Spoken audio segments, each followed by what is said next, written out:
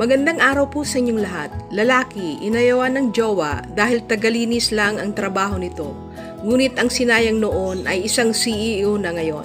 Ngunit bago po tayo magsimula, huwag pong kalimutan mag-subscribe sa ating channel at pindutin ang notification bell para lagi po kayong updated sa aking mga bagong uploads. Parang isang teleserye ang naging buhay ni Vernon Quek, 49 years old at isang Singaporean. Siya ang Chief Executive Officer ng Primic Services and Engineering. Kabilang sa mga kliyente ng Primic ang Changi Airport Group, United Overseas Bank, at mga luxury hotels. Bago nagtagumpay si Vernon, napakarami niyang pinagdaan ng hirap. 13 years old pa lang si Vernon nang mawalan ng trabaho ang kanyang ama.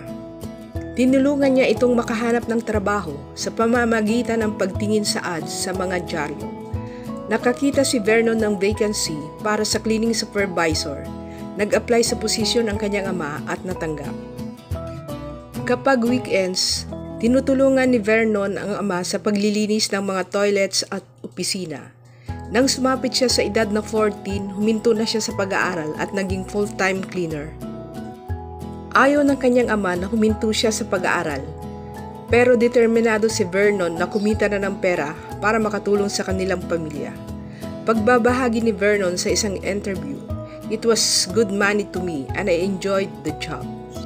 I was even more interested in it when I found out that managers of cleaning companies could earn about 1,700 Singapore dollars or 69,419.94 pesos a month. Dahil sa kanyang kasipagan, si Vernon ay na-promote na bilang cleaning supervisor kahit 14 years old pa lang siya. I asked the manager if he was sure. My dad became a supervisor only when he was 40. I was only 14.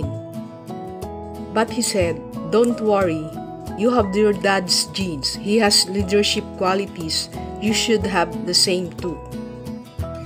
Makalipas pa ang ilang taon, naging senior supervisor na siya at nagkaroon ng love life. Pero nakipag-break sa kanya ang babae dahil ayon dito, si Vernon ay isang tagalinis lamang.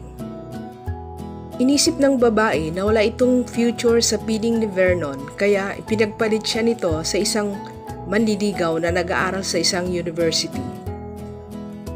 Dahil sa masasakit na salitang natanggap sa babaeng kanyang minahal, Lalong nagsikap si Vernon mula noon. Hindi nagtagal, binigyan siya ng kumpanya ng chance na makapagsimula at makapagpatakbo ng sariling subsidiary cleaning company. Nag-hire siya ng mga sariling empleyado at pinangasiwaan ang mga proyektong ibinibigay sa kanya ng mother company. Dahil sa dami ng kanya naging projects, nagsimula siyang kumita ng 25,000 Singaporean dollars or 1,020,881 pesos kada buwan. Malaking pera na ito para sa sinumang nasa kanyang mid-20s noong 1990s, pero hindi rin naman lahat ay tagumpay ang natamasa ni Vernon. Dahil sa malaking kita, nag-enjoy siya sa pagbiyahe sa iba't ibang bansa at napabayaan ng negosyo. Nalaman ito ng kanyang mga amo at winidraw lahat ng mga kontrata.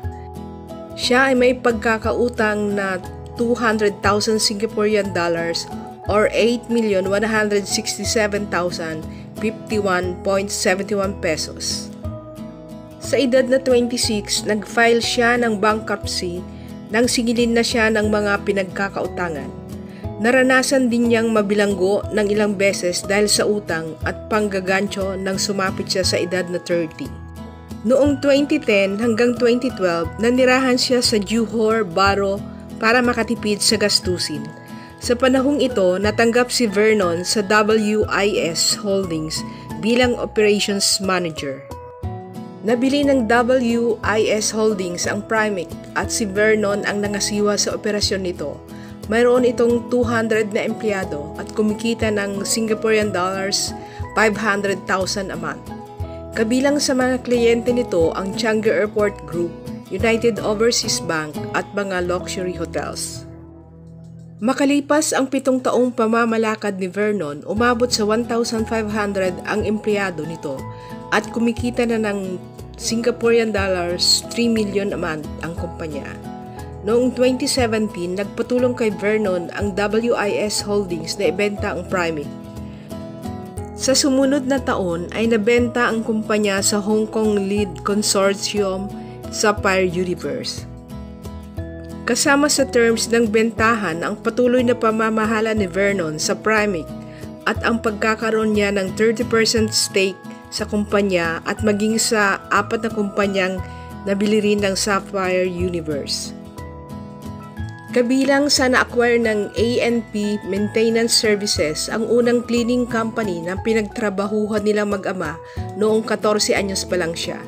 Sa ilalim ni Vernon bilang CEO ng Primate, ngayon ay may mahigit 3,000 na empleyado na ang kumpanya. Si Vernon naman ay may asawa na at apat na anak.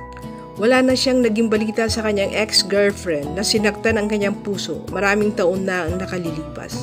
Gayunpaman iniisip niyang naging bahagi ito sa kanyang success. Maraming salamat po sa inyong panonood. Magkita-kita po tayo sa aking next video. Salamat po.